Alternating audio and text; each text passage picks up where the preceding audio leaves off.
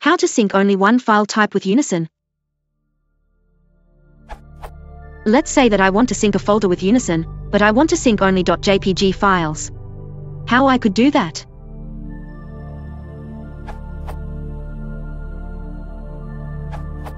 You need to add the following lines to your profile.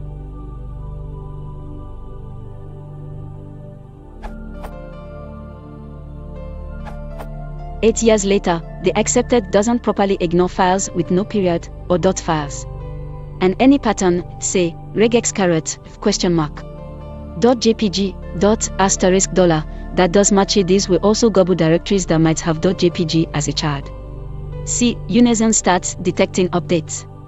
Under ignoring paths in the manual.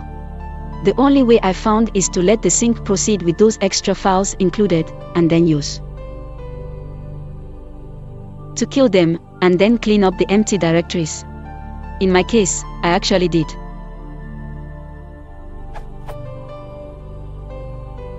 To preserve a synced marker directory don't ask.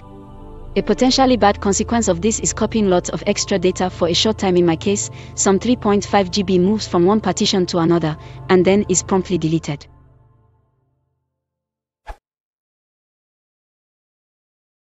If you want to support the channel, consider liking and subscribing.